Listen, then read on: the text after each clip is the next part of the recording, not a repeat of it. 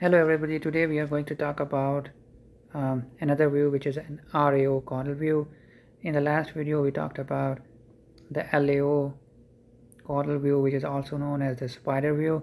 I would like to encourage you all to go back and look at this that video because most of the thing that we will be talking in today's video will be either the same or a little different or a mirror image of the of what we discussed in the LAO caudal view or you can always go back after this video to look at the spider view and that will clarify any confusion that you might have. So with that we come to that the RAO caudal view.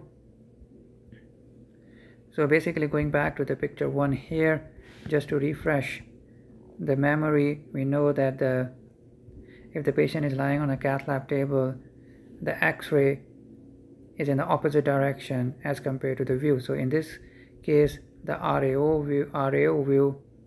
Uh, so so right anterior oblique view which is in the caudal position. So RAO caudal view the X-ray source will be in the opposite direction which will be LAO cranial.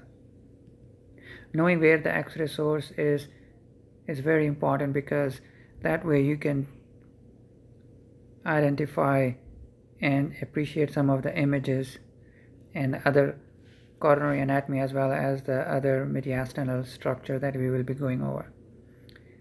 So with that we come to this cine loop on the left. If nobody tells me anything about this view and they just want this, they just show you this view and ask you what kind of view it is, you basically have to go through one or two checklists and you will be able to know what kind of view it is. So first of all, look at the catheter. So in this case, you see the catheter is coming down below the diaphragm, so it's going to be a femoral access, and you see the catheter to be kind of folded on itself. And if you recall the last video, we talked about the RAO views or right views, the catheter is retracted, folded on itself, as compared to the LAO views, where the catheter will be like L or it will be open like this. So just quickly glancing this cine loop on the left side, you can tell by looking at the catheter that it is an RAO view. The next thing I want you to look at that and look at is, is if you see the diaphragm. So for example, in picture 2, if you see a diaphragm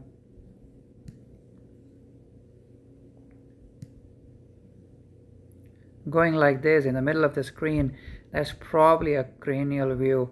But if you see a diaphragm somewhere in the corner as this, and as in this case is probably a caudal view.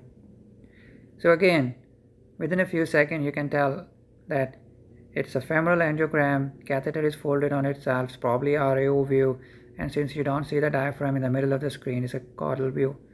So RAO caudal view, exactly the view that we, we will be discussing today. So with that, we come to the coronary anatomy. So it's a very good view to look at the proximal portion of the vessels, mainly the left circumflex, LAD, and in this case the ramus intermedius. As we all know that the caudal views are good for the body of the arteries, or coronary arteries, but not as good for the for the, the distal vessels where they can be uh, overlapped, they can be foreshortened.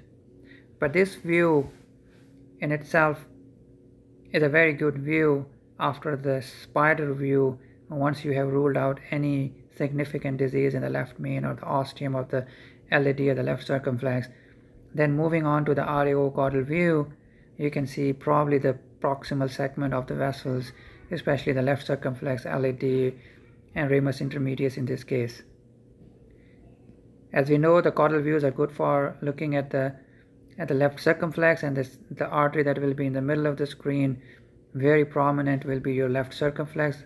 As in this case probably going in a 6 o'clock position. And then the LAD is probably be going around like a 3 o'clock position. And the proximal portion of the LAD as we talked about will be laid down very nicely laid out very nicely. Although you might not be able to see the bifurcation like the the diag branches coming off of it you might see the septal perforator. As in this case you can see a big septal perforator coming down. That kind of tells you this is a left anterior descending artery. In this case the ramus intermedius is coming right at the at the fork. So we call it a ramus intermedius but if it is coming like just below that fork you can call it like OM branch. So here the OM branches will also be be laid very nicely so this is your coronary anatomy and as if you want to get more steep views and move the eye more towards the caudal and the right word direction you can open up these arteries even more as compared to the cine loop shown on the left. With that we come to the to the diaphragm. As we talked about here you you see the diaphragm in the right lower portion let's go back to this to the picture one here. And as we talked about the x-ray source is in the LAO cranial view. You have these x-ray beam x-ray rays coming down. And once they enter the body they first come across the heart. So if this is x-ray beam coming like this it's going to come across the heart first. So you see the the heart borders. And then it's going to enter the spine of the patient as I have shown in this picture in yellow. So the spine in the RAO caudal will be on the left side as compared to the spider view where we saw that the spine was on the on the right side. Another clue to kind of let you know okay the spine is shifted towards the left is probably a RAO view if the spine is shifted towards the right is probably an LAO view. One last thing is if you look at the heart and I have kind of put that is uh, in like with the dots and I'm outlining it you see that the heart is kind of laid out very nicely. And if you see here in the left lower quadrant if this is your heart it looks like a boot shaped. So what what it, it signifies is that if you want to do an LV gram for example the patient comes in in STEMI and you want to see the wall motion abnormalities the RAO views